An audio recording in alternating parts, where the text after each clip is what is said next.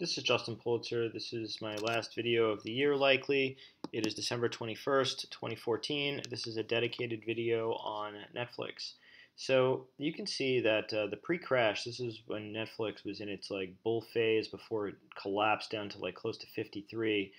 The high was 304.97.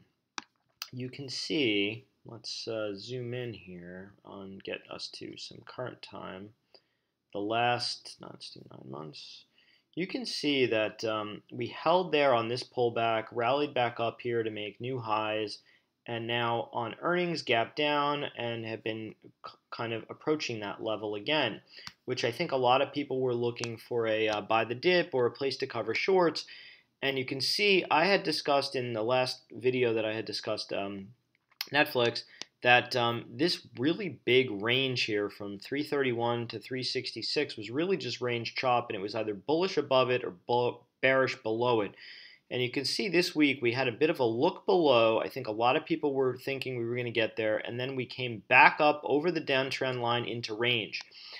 I still think this area here is kind of like a no touch just because it is the gap range. I really prefer it short below or long above. But I will give you a trade setup that I see is very possible. If you are looking to play this thing long, I think you can do it as long as you are over this 331. You can see on Friday we closed around 340, so it's not at the dead low. But you can see here we had a bit of a uh, we, we broke out. We we this day wasn't very strong, but it held over trend and over that level for the close. And then the next day, Friday, was bullish. So I think if we could take this high here this 342.50, you may be able to play for some type of a move to the higher end of the range. If we took this area out, obviously, you know, the trade is then again, again back short. You know, it would be a, a look below range, a test back into it, and then a failure, which to me would be very bearish. But um, I think if you want to play long against this 331, which is the lower end of the range now that we tested below and are back into it, I think that's as valid a setup here as any, and possibly a move over this um, this high of 342 half as a, a, play for a move back up into range.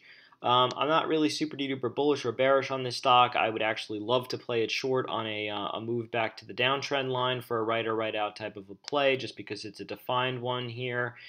Um, but that's sort of how I see this stock. I just see it as really a bit of a big range. I know it gets a lot of talk on the stream because it's one of these big dollar momentum cult stocks, but um, I really think um, that there's there is a play here if if you if you're looking for it. Anyhow, um, that's it. Cheers.